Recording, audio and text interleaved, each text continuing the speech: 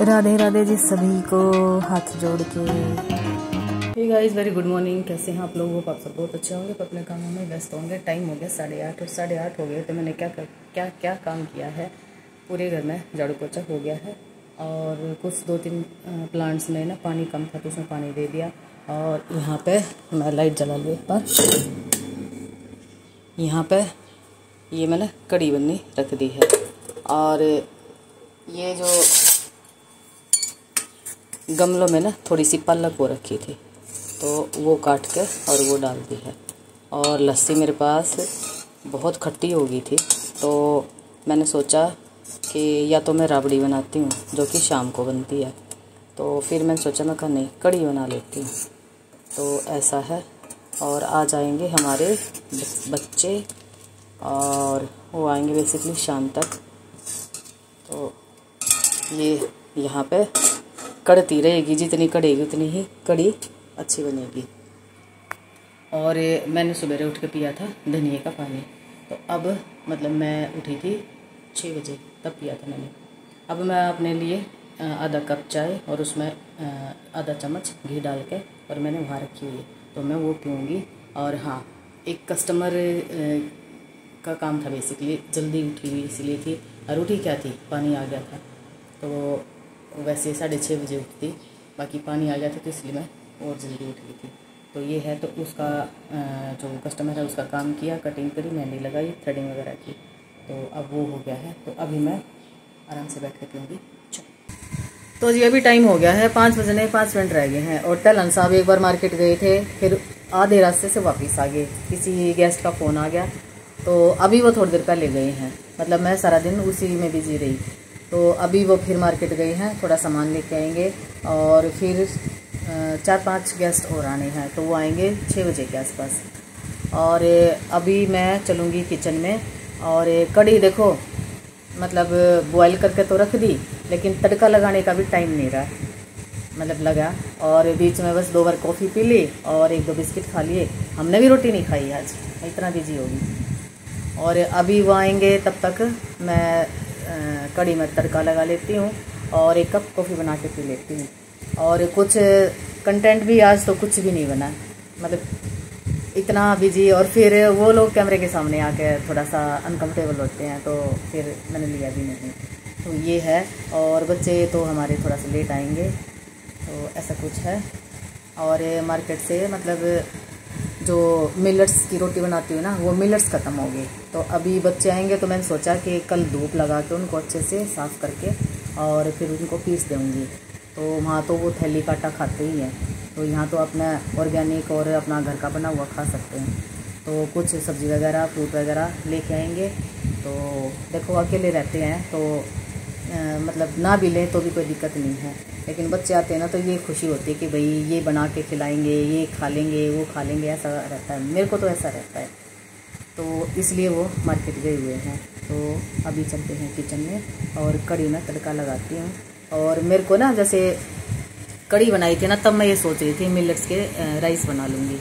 लेकिन बस ना तो भूख ही लगी और एक बार लस्सी बना ली थी बीच में।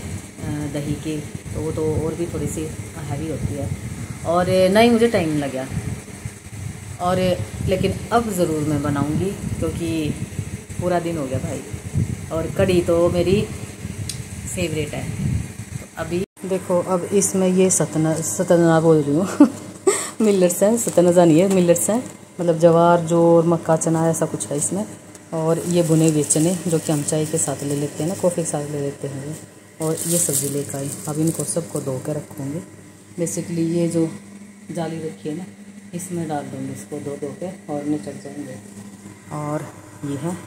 तो अभी मैं बना लेती हूँ उनके लिए चाय।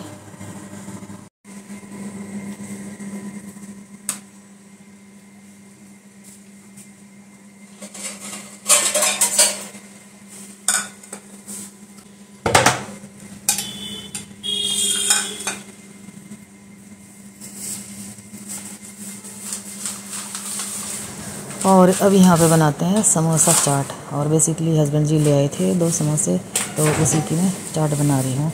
और उसमें नमकीन वगैरह डाल के चटनी वगैरह डाल के, तब ये चाट बनाऊँगी। बहुत ज़्यादा टेस्टी लगती है। और फिर बनाऊँगी मैं चाय। तो यहाँ पे मैं उसी काम में लगी हुई हूँ।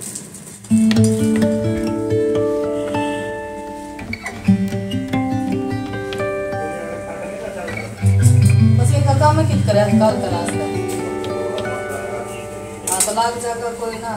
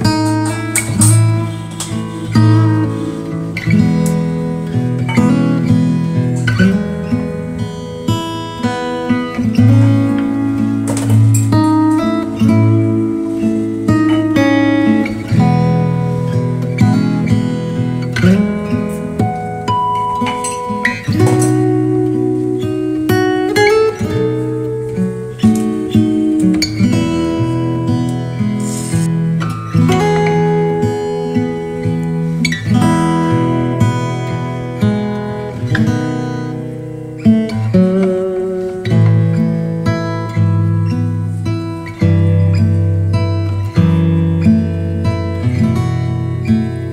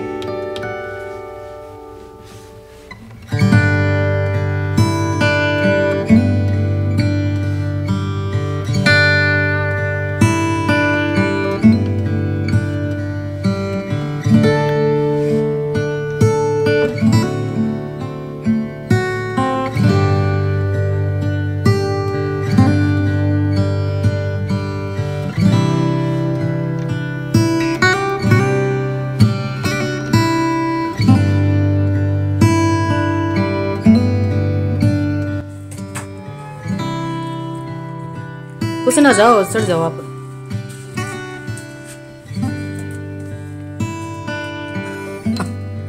बुआ पाओगी ज़रूर। तब तो बहुत डर लगता है वैसे। और यहाँ पे जो है वो बच्चों का ये रूम है और उनके कमरे का जो है एसी का कवर वो उतार रहे हैं। बाकी अभी उतारे नहीं थे क्योंकि अभी ऐसा आ, मौसम ऐसा आया नहीं है कि भाई एसी की ज़रूरत पड़े, लेकिन उनको रिक्वायरमेंट पड़ेगी इसलिए उनके आने से पहले ही ये कवर उतार दिया ताकि उनको कोई दिक्कत ना हो। तो बस यहाँ पर हम वही कर रहे हैं।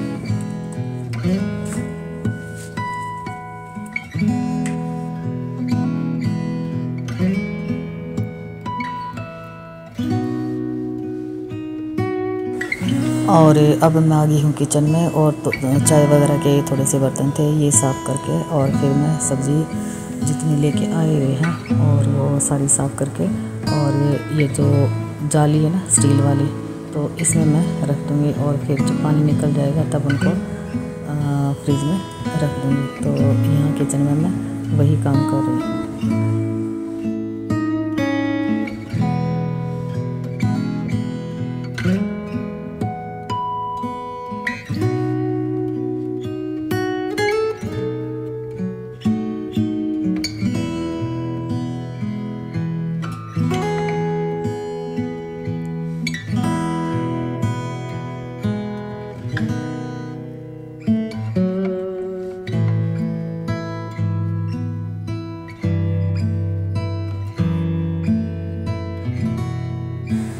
और अब यहाँ पे देखो कड़ी कितनी बढ़िया लग रही है ना, और बहुत ज़्यादा टेस्टी भी बनी थी ये। और यहाँ पे पल मिलट की रोटी बनाई है मैंने। कड़ी के साथ पल मिलट की रोटी बहुत ज़्यादा टेस्टी लगती है, यानी ये बाजरे की रोटी है। तो अभी पहले हस्बैंड जी के लिए थाली लगा दूँगी और फिर मैं इसके बाद मैं खा लूँगी। और अभी थोड़ी सी गर्मी है, लेकिन पल मिलट की रोटी जैसे सर्दी में डेली खाते हैं ना तो गर्मी कभी कभी खा लेते हैं। तो यहाँ पे सारी सब्ज़ियाँ हैं, वो पानी उनका निकल गया है तो उसको भी मैं फ्रिज में रखूँगी। तो इसी के साथ इस ब्लॉग का यहीं पे एंड करते हूँ, मिलते हूँ आपसे एक नेक्स्ट ब्लॉग में, तब तक अपना और अपने परिवार का ढेर सारा ख्याल रखना।